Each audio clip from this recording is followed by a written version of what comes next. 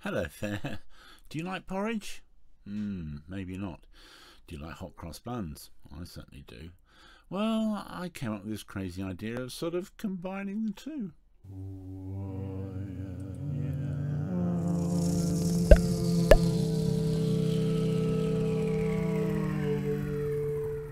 Right, well, well, you need obviously some oats and some water, and we're going to put some mixed spice in because we're, we're making it uh, as a hot crossed porridge and some raisins.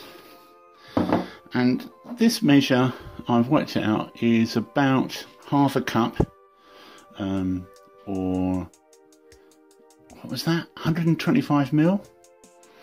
Um, and and this this is what I found works. So I'm to get that much oats.